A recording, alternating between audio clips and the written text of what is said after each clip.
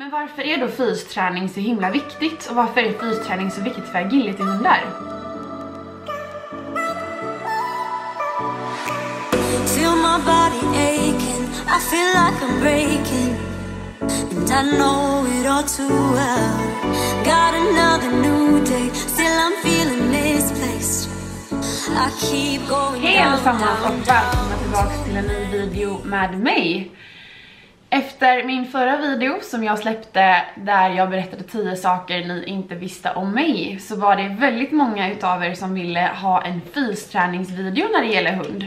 Jag ska därför idag spela in en video till er där jag pratar om fysträning, där jag pratar om vad jag tycker om fysträning, varför det är väldigt viktigt för mig och varför det är väldigt viktigt för mina hundar. Jag kommer också att visa er lite basic övningar som jag tänker att ni kan testa hemma. Någonting jag tänkte inleda videon med är att säga att jag är absolut ingen expert. Jag är inte utbildad inom detta området.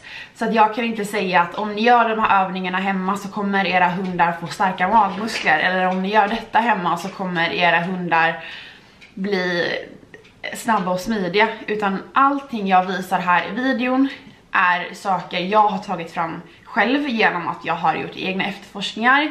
Jag tar hjälp av min egen kanjonepat som hjälper mig att lägga upp hundarnas kost och träningsschema.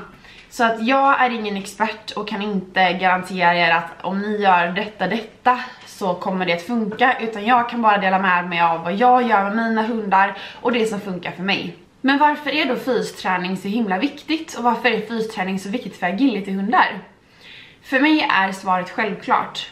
För att mina hundar ska hålla för agility som är en väldigt påfrestande sport så måste de vara i bra fysisk form. För mig är inte fysträning att åka och träna agility tre gånger i veckan utan för mig är fysträning någonting jag gör dagligen med mina hundar. Jag försöker ta varje tillfälle jag kan för att hela tiden komma på nya övningar och utmana dem. Fysträning ligger mig väldigt varmt om hjärtat vilket jag berättade i min tidigare video. Jag tycker fysträning är jättekul och framförallt när man ser resultat när man kommer på nya övningar som man testar på hundar under en längre period och ser resultat och utveckling. För mig när det gäller fysträning så tycker jag att variationen är det viktigaste. Att man inte hela tiden tragglar med samma övningar, att man alltid tränar cavaletti, att man alltid skrittar i blåbärsris i skogen utan jag försöker kombinera allting så mycket som jag bara kan. Jag har ett fysträningsschema för mina hundar och det är självklart individanpassat eftersom att alla hundar har olika behov. Så de övningarna jag visar för er idag kanske inte passar alla era hundar utan ni kanske kan plocka med er någonting som ni tycker att det här ser spännande ut, det här vill jag testa hemma. Varför jag har valt att ha ett fysträningsschema för mina hundar är för att jag tycker om att strukturera upp allting jag gör. Det gäller även agility-träning som fysträning. Jag tycker det är skönt att kunna ha ett schema att luta sig mot och planera alla veckor i förväg. Så självklart ändrar jag mitt schema från vecka till vecka beroende på vad vi har för saker planerat. Vissa veckor tävlar vi på helgen eller kanske tävlar en kvällstävling. Vissa andra veckor kanske vi har någon agility-träning inplanerad eller en kurs. Så då är det viktigt för mig att kunna anpassa schemat ut efter hur vår vecka ser ut. Jag tänker att jag kan klippa in här hur ett veckoschema ser ut för Rea. Och vad jag utgår från varje dag är att mina hundar ska få gå i skogen minst en timme om dagen och det är utan koppel. Jag tycker att jag har sett väldigt stor skillnad sen jag har börjat låta dem gå ute i skogen i olika typer av terräng utan koppel och att de får röra sig fritt. Så har jag sett en väldigt stor skillnad på deras muskler och deras kroppars utveckling. Dels för att i skogen så får de lyfta sina tassar över stock och sten och det är högt blåbärsris, Ibland går vi i sankmark, ibland går vi i mossa, ibland går vi på grusväg. Så jag försöker hela tiden variera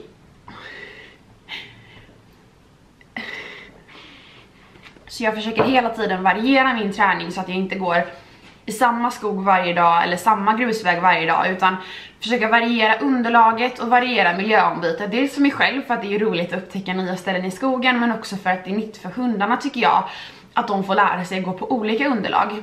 Sen så ska de ju inte alltid gå lösa. Till exempel som Ita är en sån hund när hon går lös så går hon på stigen antingen framför eller bakom mig. Så hon anstränger sig precis lika mycket som om vi skulle gå en koppelpromenad här i området. Till skillnad från Drea som är väldigt duktig att springa över stock och sten och verkligen ta ut sitt steg och byta underlag. Ibland gå på mossa, ibland gå på grusväg och ibland gå på stigen.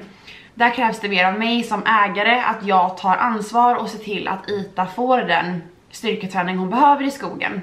Något jag annars gör varje dag är också att stretcha Rea. Eh, hon är just nu väldigt, väldigt musklad inför den nya säsongen. Jag kan tycka att det är viktigt att agilityhundar inte är för musklade. De ska ju vara smidiga och kunna ta sig över hopphinder och genom slalom och kunna svänga tight. Och då får inte hon vara för musklad och för bitey. Självklart så ska de ju inte vara för tunna heller för då går de lätt sönder. Men för att bevara hennes smidighet och inte bygga henne till ett muskelberg så gör jag även stretchövningar varje dag. Stretchövningarna gör jag varje dag efter fysisk aktivitet, en gång om dagen, så att jag stretchar aldrig en kall hund. Och jag stretchar även om jag har haft en agility-träning eller en tävling när hon har gjort fysisk ansträngning. Sedan varierar jag mig då i mitt träningsschema om vi har en inplanerad agility-tävling, om vi har en inplanerad tävling, om vi kör klossträning där jag kör olika övningar som jag kommer att visa er eller om jag kör skritt i blåbärsris i skogen. Så jag försöker variera de här övningarna så att det inte blir så enformigt som möjligt. Jag vill få till fysträning varje dag på något sätt. Men det är även nyttigt att lägga in en vilodag. Så om hon har haft en tävling och kanske tävlat fyra lopp Dagen efter försöker jag alltid lägga in en vila så då blir det bara en skogspromenad på minst en timme och stretching men ingen styrketräning utöver det. För kroppen måste få återhämtning också för att kunna bygga muskler och kunna hålla sig i bra skick. Jag har ju nämnt någonting som heter klossträning som säkert inte alla vet vad det är. Och jag tänker att jag ska klippa in en video här där jag gör klossträning med Ita där ni kan få se lite exempel på övningar man skulle kunna göra. När jag gör denna typen av övning så vill jag att hundarna ska bli medvetna dels om sina bakben men också att de ska använda sina magmuskler för att kunna lyfta upp bakbenen på lådan. Denna övningen bygger på kroppskontroll och hundarna bör vara medvetna om sina bakben. Nästa övning handlar också mycket om kroppskontroll, dels när det gäller bakbenen. Här måste hundarna träna på att parera och använda både fram och bakben.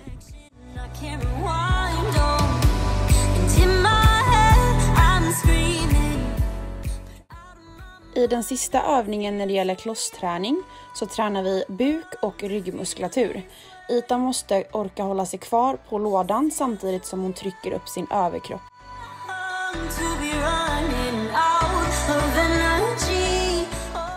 Jag gör också någonting som kallas viktförskjutning, vilket innebär att jag tvingar hunden att lägga vikt på olika ben och olika kroppsdelar och kunna hålla emot och inte flytta sig. Det lite, låter lite konstigt när man förklarar det så jag tänker att jag klipper också in ett klipp här på när jag gör det med Ita så får ni se vad det jag menar. Det som är viktigt under denna övningen är att hunden klarar av att stå still. Sedan ska du försiktigt lägga ett tryck på hundens till exempel skulderblad fram och du kan även lägga ett tryck på bakdelen. Målet med övningen är att hunden inte ska flytta sig utan den ska orka stå emot ditt tryck. I början så lägger jag ett väldigt lätt tryck på hunden. Det går också att utveckla vidare denna övningen genom att använda balansbollar som jag använder och en låda. Det krävs nu ännu mer styrka i hela hundens kropp för att orka hålla sig kvar. Dels på de halva balansbollarna som rör sig, men också att orka stå kvar på lådan. Denna övning är ingenting jag rekommenderar att ni gör om inte hunden är van att träna viktförskjutning, utan detta är en vidareutveckling på den övningen när hunden bara står med alla fyra tassar på backen. När det gäller fysträning i skogen så tycker jag att det är perfekt att kunna utnyttja skogen. Den har så mycket att erbjuda som man kanske inte tänker på.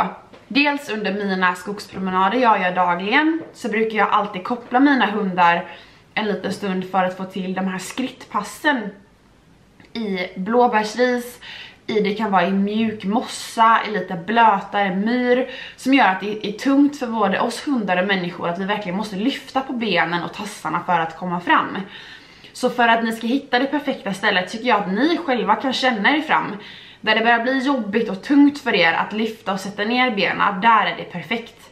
När jag skrittar mina hundar i blåbärsris eller i annat tungt underlag tycker jag att det är viktigt att se till att hundarna verkligen jobbar med sina tassar, jobbar med att lyfta varje tass. Jag brukar sätta min timer på min telefon på en till en och en halv minut och låta hundarna skritta då jag har ganska kort koppel och går hela tiden bredvid hundarna så får de skritta fram och tillbaka i en och en halv minut. Sedan pausar vi 30 sekunder och så upprepar vi detta ett, ett par gånger.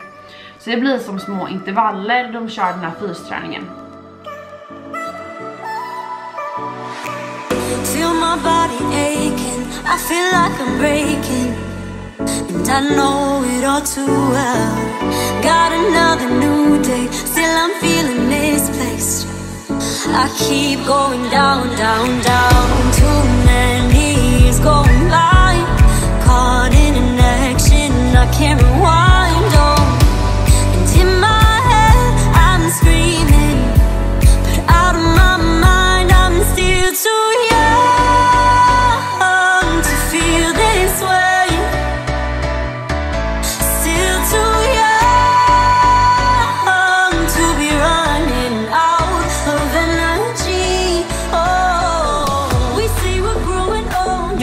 Jag också försöka utnyttja mig av stock och sten.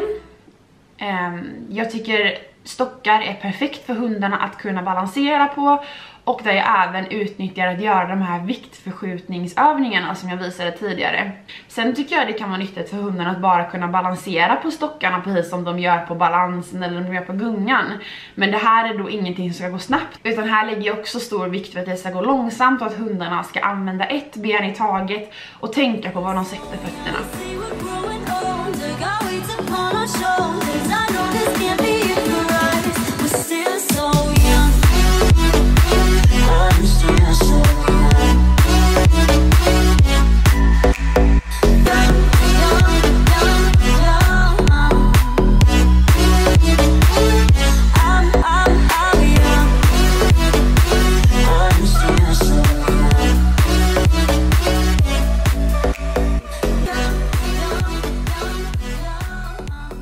Något annat som också ingår i vårt veckoschema när det gäller fysträning är att vattentraska och simma.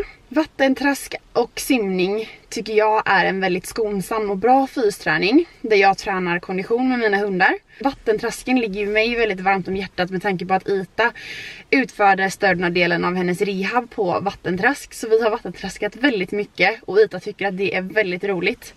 Vattentrasken är perfekt för henne med tanke på att hon har den problematiken som hon har med sitt knä och den lägger ingen större belastning eller tryck på varken hennes leder eller knä. Så just nu ska vi åka och vattentraska och jag tänkte att ni ska få följa med och se hur det kan se ut.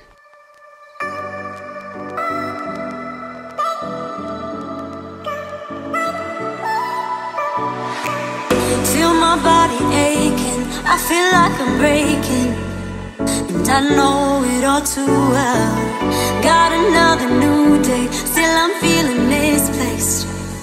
I keep going down, down, down. Too many years going by.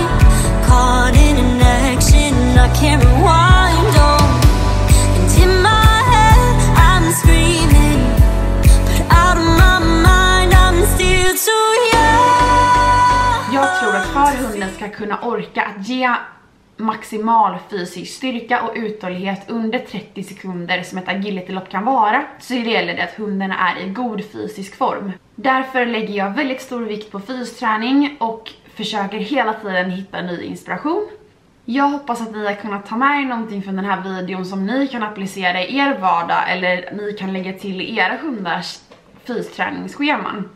Jag gör det här bara på en hobbynivå, kanske inte riktigt hobbynivå. Jag tycker det här är super super kul och har verkligen nördat ner mig i det här ämnet. Men jag är inte utbildad inom detta, jag är absolut ingen expert. Så jag kan inte garantera att det här funkar på era hundar men jag hoppas att ni har lärt er någonting nytt och att ni vågar testa mer fysträning och vågar vara aktiva med era hundar. Jag tror att nyckeln till fysträning och nyckeln till att hundarna ska bygga mycket muskler och vara starka och fräscha det är att faktiskt orka och att inte vara lat. Även om det är regn och rusk ute, det är snöar, det är slaskigt, det är halt, det är mörkt.